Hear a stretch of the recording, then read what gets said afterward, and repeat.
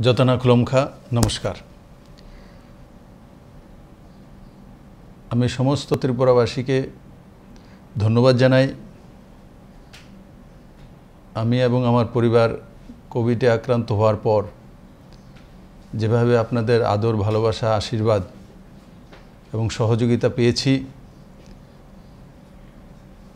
তার জন্য আমি আপনাদের প্রতি কৃতজ্ঞ। এবং তার সঙ্গে সঙ্গে আমি আপনাদের কাছেও সেটা আপিল করব যে কোভিড মোকাবেলায় দু হাজার কুড়িতে যেভাবে আমরা সমস্ত ত্রিপুরাবাসী একত্রিত হয়ে কাজ করেছি, ঠিক এবারও আমরা ওইভাবে তাকে মোকাবেলা করব। আমার সমস্ত শক্তির উৎস আপনারাই আপনাদের আশীর্বাদ আর আপনাদের ভালোবাসার কারণেই আজকে আমি সুস্থ হয়ে আপনাদের মাঝখানে চলে এসেছি। এই বিগত ছ তারিখ থেকে একটা লম্বা সময় আমি আপনাদের মাঝে আসতে পারিনি। সেটা আমাকে অনেকটা ব্যথিত করতো। কিন্তু আজকে আমি আপনাদের সামনে আসতে পেরেছি এবং আপনাদের সঙ্গে কিছু বিষয় আমি আলোচনা করতে চাই, আপনাদের সামনে রাখতে চাই। সেটা হচ্ছে কোভিডকে মোকাবেলা করা। আপনারা সবাই জানেন, অবগত আছেন।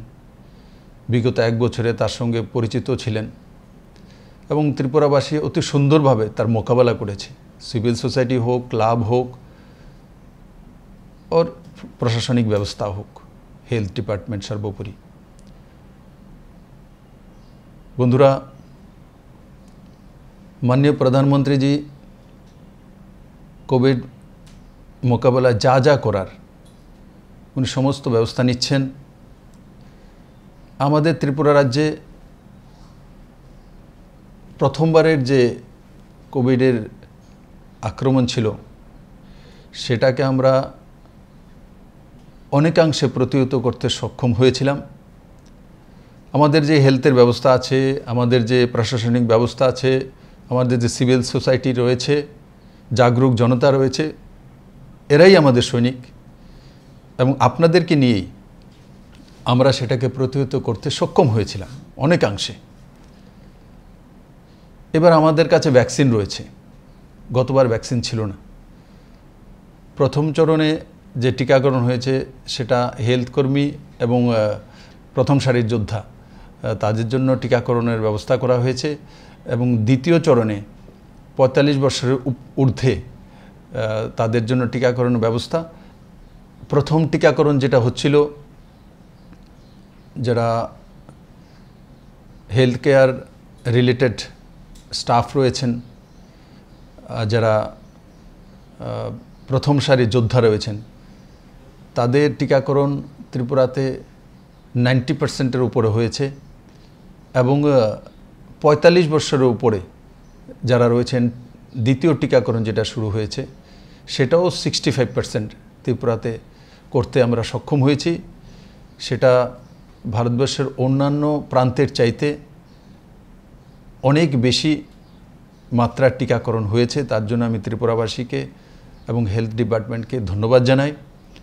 এবং তৃতীয় চরণে মাননীয় প্রধানমন্ত্রীজি ফার্স্ট মে থেকে আঠারো বছর থেকে চৌচল্লিশ বছর পর্যন্ত যে টিকাকরণের ব্যবস্থা ঘোষণা করেছেন, তাতে আমি আমার রাজ্যবাসীকে অনুরোধ করব যে টিকাকরণ তো হবে, কিন্তু আমাদের খেয়াল রাখতে হবে। প্রথমে আমাদের যারা হেলথ কর্মী রয়েছেন, যারা পঁয়তাল্লিশ বছর ঊর্ধ্বে রয়েছেন, তাদেরকে প্রায়োরিটি দেওয়া। কারণ কি? যে ভ্যাকসিন সেটা বড় মাত্রা একসঙ্গে অ্যাভেলেবেল নেই। তার জন্য যারা আঠারো বছরের ঊর্ধ্বে রয়েছেন ওনারা যাতে এক তারিখ থেকে খেয়াল রাখতে হবে, আমরা যেখানেই টিকাকরণের জন্য সেন্টারে যাব, প্রায়োরিটিতে আমাদেরকে ফর্টি ফাইভের ঊর্ধ্বে তাদেরকে রাখতে হবে।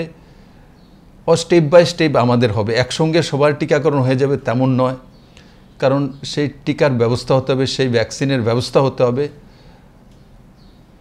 রাজ্য সরকার সেই ভ্যাকসিন ক্রয় করার জন্য একশো চৌত্রিশ কোটি টাকা রাজ্যের বাজেট থেকে আমরা বরাদ্দ করেছি। আমরা আশা করি যে আমাদের সমস্ত ত্রিপুরাবাসী সেই বিষয়ে খুব কম সময়ে বিস্তারিত অবগত হবেন এবং তার সঙ্গে সঙ্গে খেয়াল রাখতে হবে যে রাজ্যগুলো বড় মাত্রায় কোভিডে আক্রান্ত সে মহারাষ্ট্র হোক সে কর্ণাটকা হোক, দিল্লি হোক পশ্চিমবাঙ্গাল হোক, দশটি যে মূল রাজ্য আমাদের রয়েছে, তার মধ্যে করোনার প্রাদুর্ভাব বেশি স্বভাবতই সেই দিকটাই, সেই রাজ্যগুলিতেই ভ্যাকসিনেশনের ব্যবস্থা প্রাথমিকভাবে প্রথম পর্যায়ে সে রাজ্যগুলিকে চিহ্নিত করা হয়েছে এবং সে রাজ্যগুলিকেই প্রোভাইড করা হবে। আমরা নর্থ ইস্টের রাজ্যগুলি যারা রয়েছি আর বিশেষ করে আমি আমার নিজের রাজ্যের কথা বলব। আমরা অনেকাংশেই জাগরুকতার কারণে সোশ্যাল ডিস্টেন্সিং মেনটেনের কারণে মাস্ক পরিধানের কারণে স্যানিটাইজার ইউজ করার কারণে আমরা অনেকাংশে সেফ রয়েছি। যাতে ক্রমবর্ধমান সেফ আমরা থাকতে পারি জাগরুকতার মাধ্যমে একে অপরকে সহযোগিতা করা। আর বিশেষ করে আমি যারা প্রফেশনালিস্ট রয়েছেন, ডক্টরস রয়েছেন, আইনজীবীরা রয়েছেন, সাংবাদিক বন্ধুরা রয়েছেন, প্রফেসররা রয়েছেন, স্কুল টিচাররা রয়েছেন। আমি তাদেরকে আবেদন করব, বিগত সময়ে আপনারা যেভাবে জনমানসে একটা জনমত তৈরি করেছেন এবং তার সঙ্গে ক্লাবগুলো বড় ভূমিকা পালন করেছে এবং সর্বোপরি রাজনৈতিক দলগুলো। যেগুলো ত্রিপুরাতে রয়েছে, ছোট হোক, বড় হোক, প্রত্যেকের অবদান রয়েছে সেই কোভিড মোকাবেলায়। এবারও আমরা সবাই মিলে মোকাবেলা করব এবং কেন্দ্র সরকার যে ব্যবস্থাগুলো করেছে এবং রাজ্য সরকার যে ব্যবস্থাগুলো করছে সেগুলো আমরা মেনে চলব। আর মাননীয় প্রধানমন্ত্রীজিকে আমি ধন্যবাদ জানাব যে উনি মে এবং জুন মাসের জন্য সারা ভারতবর্ষে যারা বিপিএল, অন্তোদয় এবং বিলো পভার্টি রয়েছেন তাদের জন্য দুই মাসের জন্য ফ্রিতে খাদ্যান্নের ব্যবস্থা করেছেন। আমি আশা করি আমার ত্রিপুরা রাজ্যে বড় মাত্রায় যারা বিপিএল অন্তোদয় পরিবার রয়েছেন তারা তাতে লাভান্বিত হবেন। এবং আরেকটা আপিলে আমি গতবারও করেছিলাম, আমরা সবাই জানি আমার আশপাশে কে রয়েছে, কার বাড়িতে অন্ন নেই, কার কাছে খাদ্য নেই। যদি এ ধরনের কোনো কিছু হয়, আমি সবার আগে জানতে পারি। তো আমি আপনাদেরকে নিবেদন করব যে নিজের ঘর রক্ষা করে, যাতে আমার পারিপার্শ্বিক যে পরিবারগুলো রয়েছে, যাদের কাছে এই ধরনের ক্রাইসিসের সময় হয়তোবা অন্যের সংস্থান নাও হতে পারে, পৌঁছতে নাও পারে, সরকারিভাবে সেটা পৌঁছতে দেরিও হতে পারে, যাতে আমরা একে অপরকে সহযোগিতা করি, একে অপরকে এই সময়ে বিগত বছর বছরে আমরা যেভাবে পাশে দাঁড়িয়েছিলাম, এবারও আমরা স্বতঃস্ফূর্তভাবে পাশে দাঁড়াবো এবং ত্রিপুরার জাতি, ধর্ম, দল, মত নির্বিশেষে যেভাবে আমরা একটা উদাহরণ প্রস্তুত করেছিলাম, এর চাইতে বড় সুন্দর একটা উদাহরণ প্রস্তুত করব। আমি আবারও সমস্ত ত্রিপুরাবাসীকে বলব সুস্থ থাকুন, ভালো থাকুন, সাবধানে থাকুন।